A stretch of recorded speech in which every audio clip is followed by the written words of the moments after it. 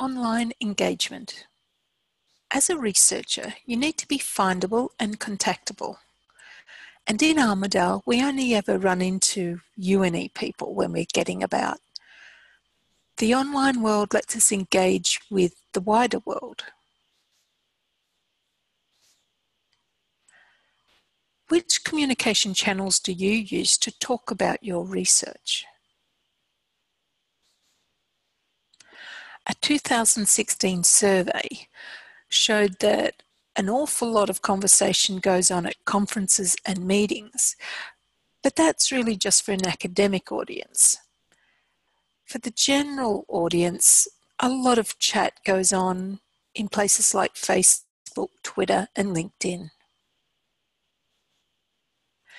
Today we're going to plan our online presence, build an audience, and learn about maintaining our presence planning an online presence. Your online profile will help you connect so that you can communicate and finally collaborate with others. You can disseminate your research, particularly to a broader audience, not just people who are researching in exactly your field. You'll be able to stay abreast of research being published and connect with lots of people. You can also use your online presence to obtain non traditional metrics data. And you can use that when you're looking for a grant or academic promotion. You don't want to wait till you're going for a position as a lecturer, for example, and say, Oh, I've just started to use the online world. You want to be able to say, I've been online, active online for five years. There's a librarian in Queensland called Kay, and she talks about a personal learning network. And it's not just about the online world, it can apply wider. And she has these, these axes. And if you take something like Twitter, you look at tweets, you're accessing the knowledge. You might retweet something and you're starting to share. You might comment and you might have a, a more in depth conversation. And before you know it, you're curating or creating knowledge with others that you've met online. There are many tools out there that can help with your online presence. I don't know if you know all these logos. They fall in different places on this spectrum. Notice there's a bit of a gap around the accessing. They're generally more than just looking at information. It's about the sharing and then getting together with other people to have a conversation. Let's look at building your online presence. An ORCID ID is a minimum. If you're going to be a researcher, you need this unique identifier so your research doesn't get mixed up with someone with a similar name.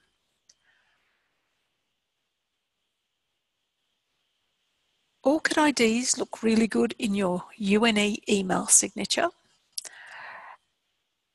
If we look at something like ResearchGate, you need to be careful of intellectual property so you might find your publisher owns the rights to your work, or at least for a time, might be embargoed.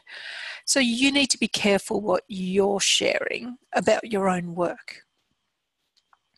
Publons is good if you're a peer reviewer, you want credit for that. And if you're from the humanities, you might want to look into Humanities Commons. When we're online, we're creating, disseminating, managing, and tracking. Keeping a blog is a great way to create content. You get more than the characters that you get on, say, Twitter. You, it's more relaxed conversation. You can embed videos and images. When we're disseminating, you might want to use something like Twitter to tell people, hey, I've got a new blog post. If it all becomes a bit much, there are tools to help you manage your online content. I used to use Hootsuite. I now find it a little expensive, but I'm looking into Everypost. And you want to know if your online presence is having any impact. You could have a look at something like Impact Story, Kudos, or Altmetric to see how your online presence is tracking. Research blogs are a great way to get out information, especially if you want to get your ideas across to the man in the street. I've got a blog, it's not a research blog, it's an education blog. I know getting a following can be hard. I'm struggling to get those people over there to, to follow my blog. When I make a blog post though, I make it easy on myself. I use tools like if this then that, IFTTT, and that will automatically tweet anytime I put up a blog post. I choose WordPress, and one reason is WordPress is indexed by things like Google. So that's going to bring you recognition. something you might want to use your blog for relevant news even if you talk about things that are happening in your field maybe not to you but out in the wider world you might want to share links events publications certainly that you're working on but be careful of the intellectual property you don't want to give away too much you might want to talk about projects papers or presentations that you've made. When you're putting out your messages, they need to be timely. You, I don't want to hear about this great idea that you had 12 months ago. I want to know as you're having the idea. If you're on multiple platforms like LinkedIn, Twitter, SlideShare, perhaps post at the same time or maybe the same day. It'll look funny if you put out the same message and stagger it. Someone following you is going to go, Oh, she's telling me again about the new video she's made. So maybe at, keep the timing close together and maybe change the message to suit the platform. For example, Twitter is quite conversational LinkedIn's professional, and a blog is more in depth. Don't make it all about you. I know I have actually unfollowed a very influential educator because she kept talking about what she was eating and where she was going and what the kids were up to. Don't be that person. I asked one of UNE's prominent researchers if I could use a few screenshots from her Twitter. And I knew the best way to contact her would be Twitter. I knew she'd respond, and she did. Mary, I had a look at her uh, Twitter account and I could see she's pinned a tweet. She's going to a very prestigious event so she's pinned the post so that it doesn't just slip away down the Twitter stream. She's tagged Al Gore, prominent, prominent environmentalist. And by doing that, it may not have been her intention, but he may retweet this this post of Mary's and bring her thousands of followers. I watch the ABC's Q&A on Monday nights and they have a bit of a tweet up. And if I see a really clever tweet by someone there on my TV screen, I'll actually go and follow them. So that's a challenge for you. See if you can say something really clever on the next Q&A and see how many followers you pick up. I'd love to know the answer. Mary's also posted a really good thing here. I love that she's made science simple.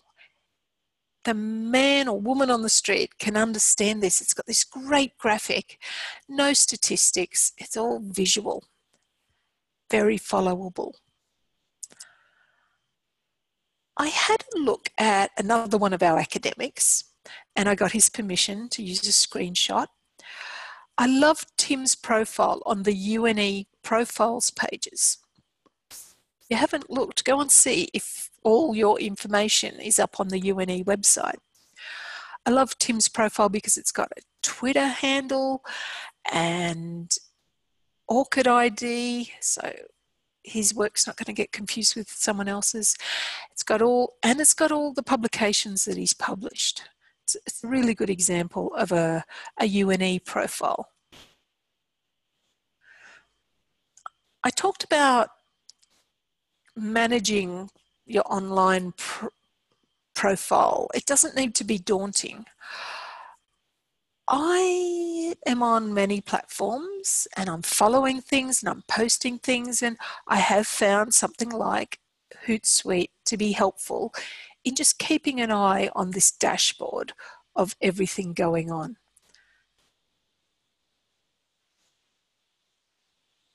However, you might want to use something like impact story. You might want figures of what impact am I having on the conversations? And that may be handy when you go for a promotion. There's a product called Kudos or Grow Kudos. And it starts with explain your work in simple terms. Here we are, someone's explaining his work in simple terms. And here's a, what you don't want to do don't overwhelm the people don't have it hard on the eyes. There's a lot of black text on white writing, and I can't read it all. There's figures and percentage symbols, and I'm starting to freak out just a little bit. On Kudos, you have all your metrics, you, you know what impact you're having online. And on altmetric.com, there are various ways of looking at your impact you've got a summary page, and then each tab there's news and Twitter. So we can get a good picture of what's going on in your research world. I have a landing page. It's like a free homepage, and the website's called about.me. So it's about me. I just made a little statement about who I am, what I do for a living, or what I've done for a living in the past. Maybe a bit of bragging about my education or my interests, and then links to the social media platforms that I'm on. So there's a link to my WordPress blog.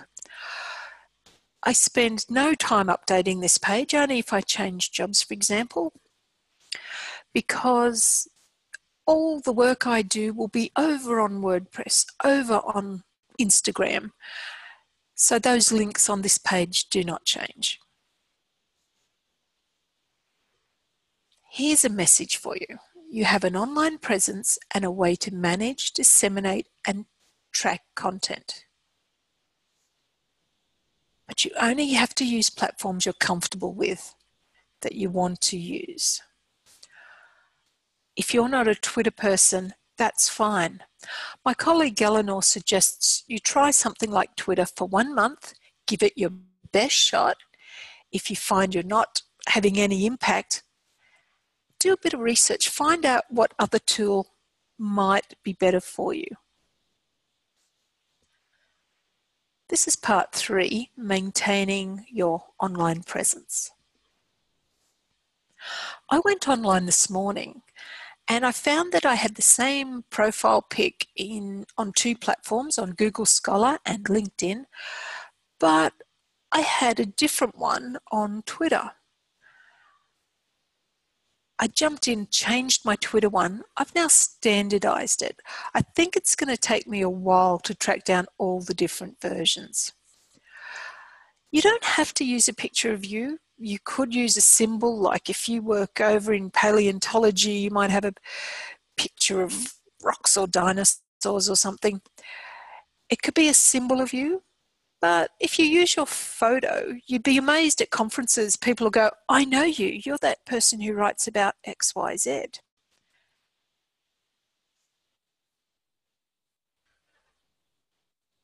When you're making your research available, think about Research UNE, our platform. It talks to platforms such as altmetric.com, I think was the one.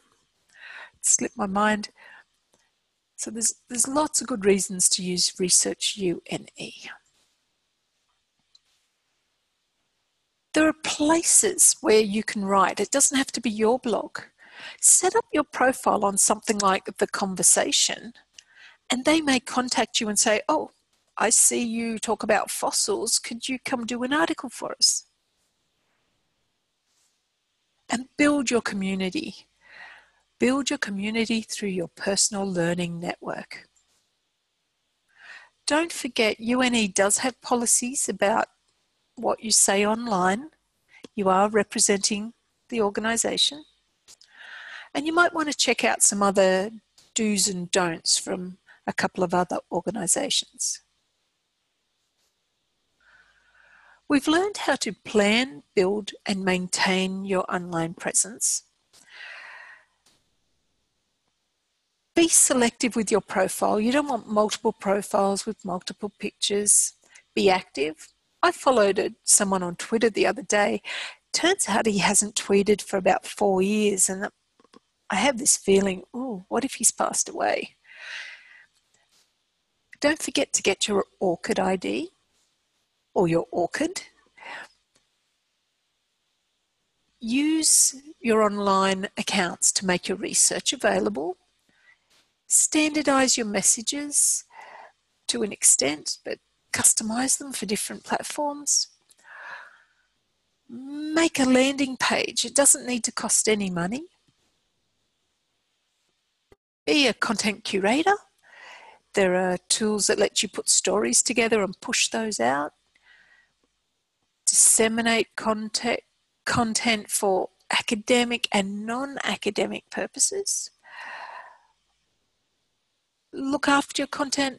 If you need to delete a tweet or something, you know, take good care, do, do maintenance where needed. Use the tools to track your impact, stay professional, and engage with your community. Don't hesitate to contact the librarians at UNE. Your research librarian can help you set up and maintain your prof- profile. As I said earlier, get your online presence sorted now, and in five years, you'll be going for academic promotion and you'll be able to say, I've been blogging, posting, tweeting for several years. Do contact us at the library if you need any more information.